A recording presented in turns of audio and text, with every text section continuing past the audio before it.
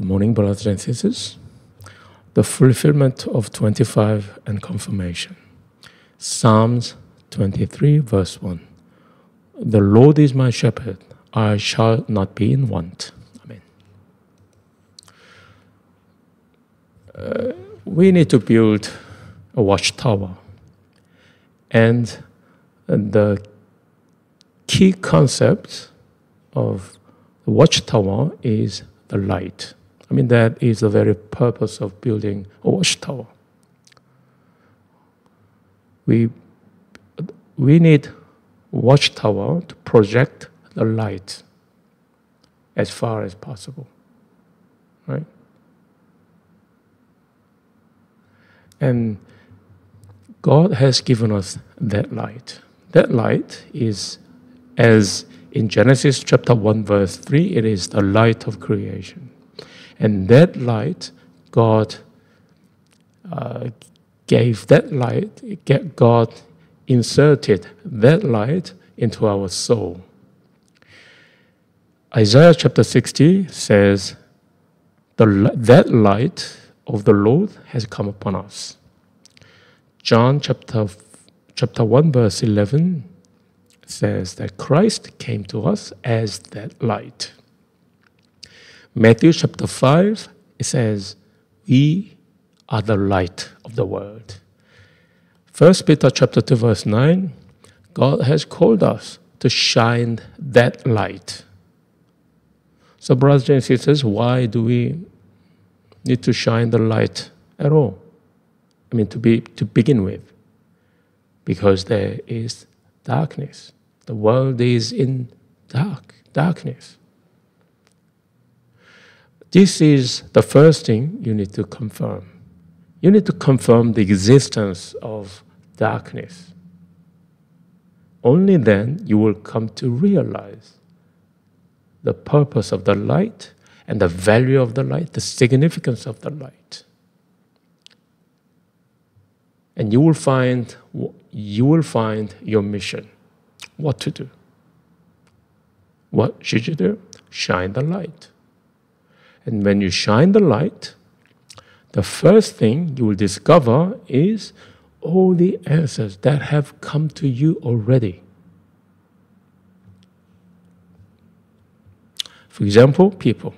Okay, we are surrounded by people. And uh, many of them we are not that happy with. And many of them are doing wrong to us. So, what shall we do? Shine the light. In other words, help them, especially help them with their shortcomings. Right? I'm pointing out their problems. I mean, anyone can do that, but helping helping them with their weakness is our job, is our mission. Doing so, we will triumph. And also, you will experience a lot of conflicts. When you, when you, when you experience that, devote yourself to that situation. And along the way, you, will, you might face sometimes crisis. When people face crisis, they tend to avoid it or run away, right? Run away from the from crisis. But you should become the main figure, like David, like Joseph. Uh, whether you are receiving answers or not, that, that's, our, that, that's not the issue. What's important is to go through this process, uh, this process. Build up the light and shine, uh, I mean, build up the watchtower and shine the light to the field, to the world, and to those who are in darkness. So, brothers and sisters, you have the light. And you need to confirm three identities that you have. Firstly, you are the remnant. You are the ones who you are the one who remained. You are the you are the ones you are the one who re, you remained and you remain and you will remain and you will leave behind others to remain. Other you will leave behind others who remained so don't be deceived. Um, you might have some people who are tr- troubling you who are doing wrongs to you they are doing they are doing so because they are suffering they are in pain themselves. They are weak people. Not, they, are not, they are not the strong, they are the weak. So, as the one who remained, don't be deceived.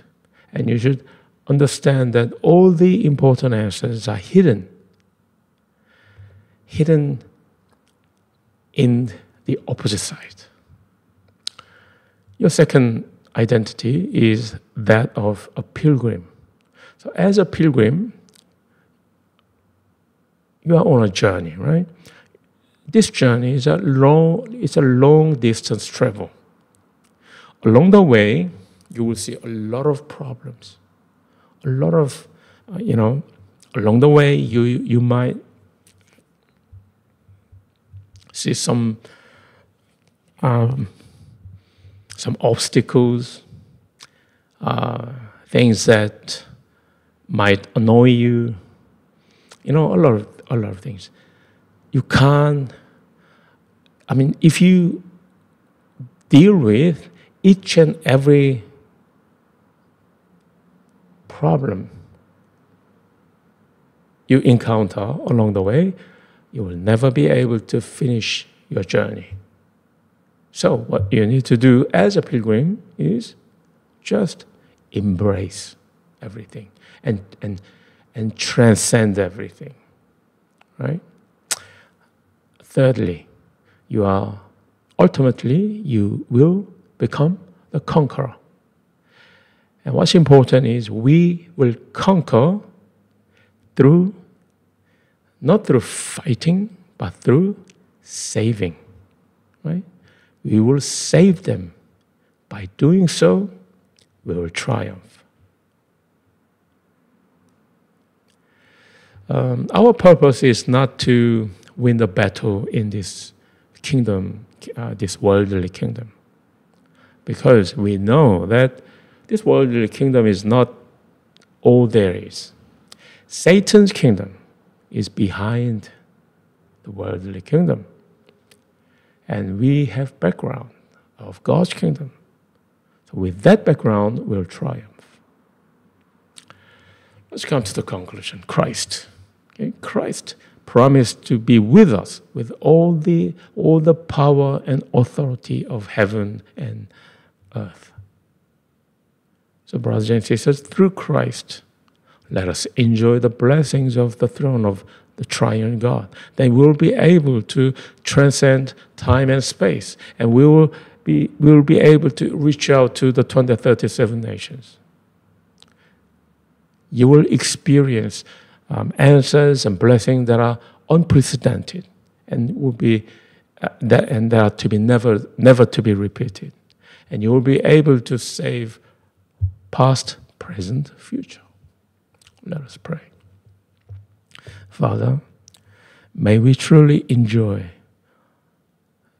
our identities that you have given us identity of the remnant and the pilgrim and the conqueror. As a remnant, may we never be deceived by Satan, neither Satan nor um, never be deceived by Satan or the world or circumstances or people. And as a pilgrim, may we be able to transcend everything. And as a conqueror, may we save everybody. We pray in the name of Jesus, who is the Christ. Amen.